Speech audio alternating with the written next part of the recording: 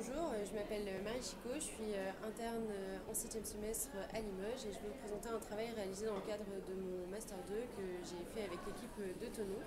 Il concernait euh, la perte de puissance et le but était de savoir s'il existait une perte de puissance en sortie de fibre due au générateur. Pour cela, nous avons comparé quatre lasers, un onium YAG haute puissance, deux thulium fibré ainsi que le nouveau laser, le laser thulium YAG pulsé. Euh, nous avons essayé de nous affranchir euh, d'un maximum euh, de facteurs qui étaient décrits dans la littérature, que,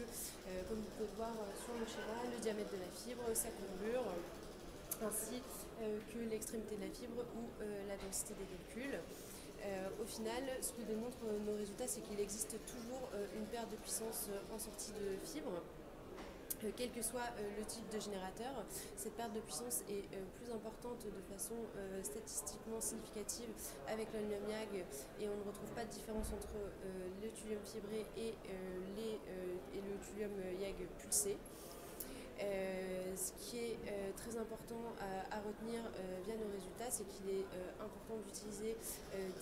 des basses puissances, hein, toujours basse, basse, fréquence, basse énergie, pour limiter au maximum cette perte de puissance et de bien entretenir vos générateurs en fonction des carnets d'entretien fournis par les industriels, de façon à ce que cette perte de puissance soit minimisée. Merci.